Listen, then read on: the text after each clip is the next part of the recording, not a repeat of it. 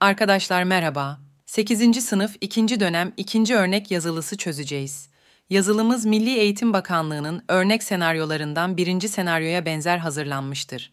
Yazılımızda 10 soru bulunmaktadır. Yazılı kapsamı, ısı ve sıcaklık konusundan son ünite olan elektrik konusuna kadardır. Her soru onar puandır. Şimdi sorularımızı çözmeye başlayalım. Birinci soru maddenin hal değişimiyle ilgili. Terliyken üşümemizin sebebinin ne olduğunu açıklamamız istenmiş. Buharlaşmanın olabilmesi için sıvının ısı alması gerekmektedir. Bu da ısı aldığı maddenin soğumasına neden olur. Vücudumuzdaki ter buharlaşmak için bizden ısı alır, bu nedenle biz de üşürüz. Arkadaşlar sırada ikinci sorumuz var. Şekildeki yük F kuvvetiyle kaldırılamıyor. F kuvvetinin yükü kaldırabilmesi için yapılması gerekenlerden ikisini yazacağız. Kaldıraçta kuvvet kolunun uzaması ve yük kolunun kısalması kuvvet kazancını artırır. Kuvvet kazancının artması sonucu daha az kuvvetle yükü kaldırabiliriz. Bu nedenle kuvvet kolu olan B'nin uzunluğunu artırabiliriz veya yük kolu olan A'nın uzunluğunu azaltabiliriz. Bunun haricinde destek noktasını yüke yaklaştırmak da daha az kuvvetle yükü kaldırmamızı sağlar. Arkadaşlar sırada üçüncü sorumuz var. Sıcaklığın fotosentez hızına etkisini araştırmak için aşağıda verilen deney düzeneği kuruluyor. Bu deneyin başarılı olması için deneyde yapılması gereken değişikliklerin neler olduğu sorulmuş. Deneyde sıcaklığın fotosentez hızına etkisi araştırılmaktadır. Bu nedenle sıcaklığı değiştirip diğerlerini sabit tutmamız gerekmektedir. Deney düzeneğine baktığımızda ışık renginin farklı, sıcaklığın aynı olduğunu görmekteyiz. Bu nedenle deneydeki ışık renklerinin aynı ve sıcaklıkların farklı olması gerekir.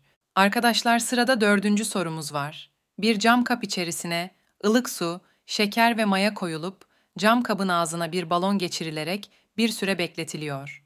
Cam kabın ağzındaki balonun şişmesinin sebebinin ne olduğu sorulmuş. Arkadaşlar, maya mantarları fermantasyon yaparak şekeri parçalar, kendi enerji ihtiyacını karşılar, bu sırada oluşan karbondioksit balonun şişmesine neden olur. Sırada beşinci sorumuz var. Suların tasarruflu kullanımı ile ilgili bir proje hazırlanacaktır bu projenin nasıl yapılacağının yazılması istenmiş.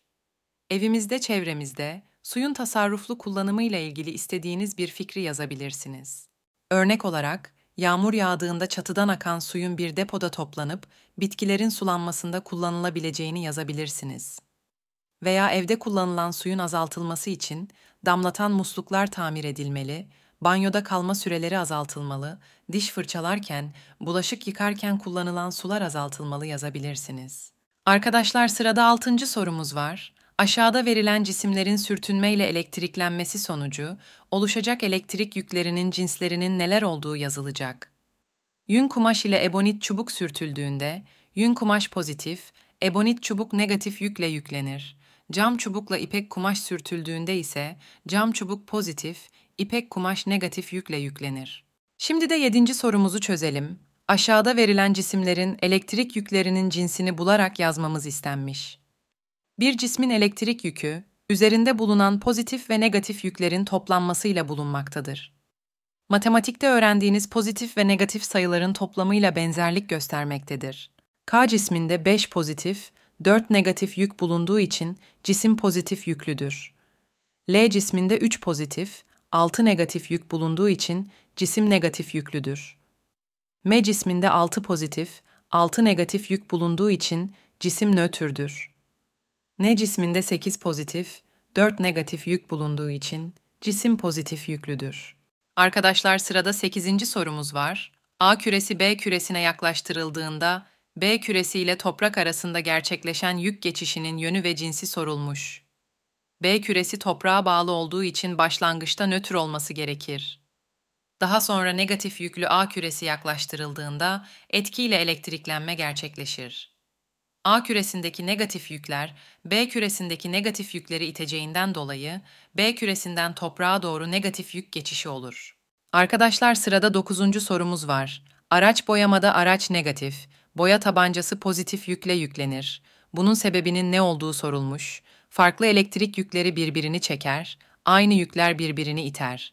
Boyanın araç yüzeyine daha iyi yapışması için araç ve boya tabancası zıt elektrik yükleriyle yüklenir. Ayrıca aynı elektrik yüklerinin birbirini itmesinden dolayı boya tabancasından çıkan boyalar birbirini iterek her tarafa eşit dağılması sağlanmış olur.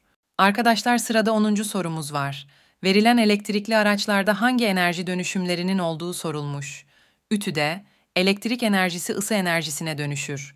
Matkapta elektrik enerjisi hareket enerjisine dönüşür.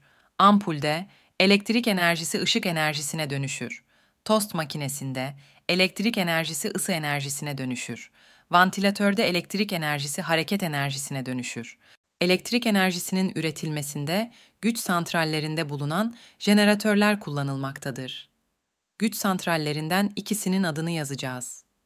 Nükleer santral, hidroelektrik santral, jeotermal santral, termik santralden ikisini yazabilirsiniz. Arkadaşlar yazılıda başarılar dilerim. Konu tekrarını sitemizden yapabilirsiniz. Ayrıca Milli Eğitim Bakanlığı'nın örnek sorularını çözmeniz sınavda başarınızı artıracaktır. Arkadaşlar video açıklamasına bıraktığım linke tıklayarak yazılıya ait soruların Word ve PDF dosyalarını cevaplarıyla birlikte ulaşabilirsiniz. Videoyu beğendiyseniz beğen tuşuna basmayı ve kanalımıza abone olmayı unutmayınız.